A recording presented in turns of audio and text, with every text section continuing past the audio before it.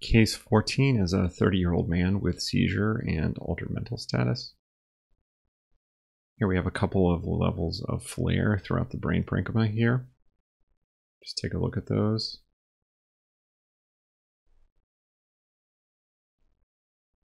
Here you have a single image from diffusion and a T2 weighted image from the level of the hippocampus.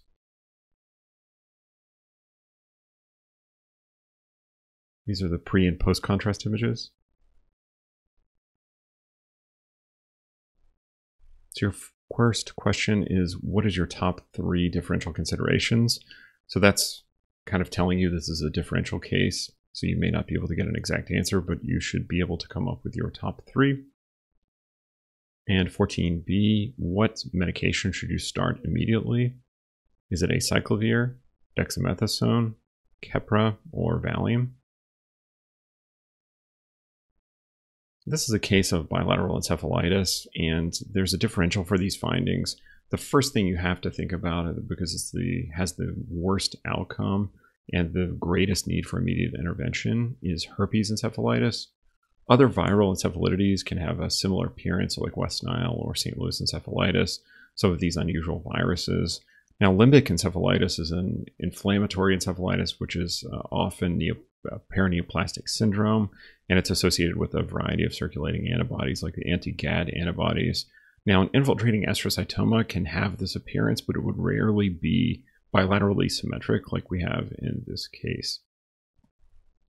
So limbic encephalitis is uh, the diagnosis in this case. As I said, it's an immune-mediated encephalitis. Many times patients will have a malignancy such as lung or testicular cancer, there's a wide variety of circulating antibodies. So this patient had anti-GAD antibodies.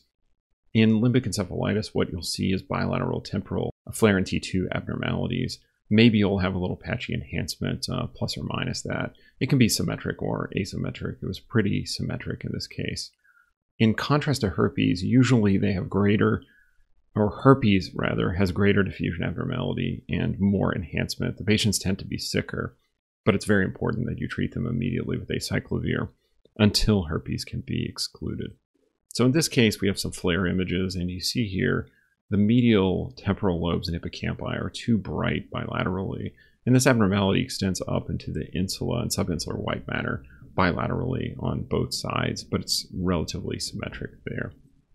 Here you see the diffusion, and the diffusion is relatively normal. The T2 just confirms what we were seeing on FLAIR.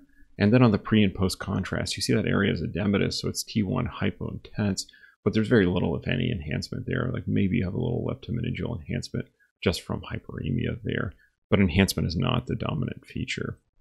As to what medication you want to start in this patient, you want to start acyclovir because even though this case is somewhat unusual for herpes, it's something that you have to exclude with lumbar puncture and clinical uh, features because not starting a acyclovir can have a significant impact on the morbidity and mortality for the patient.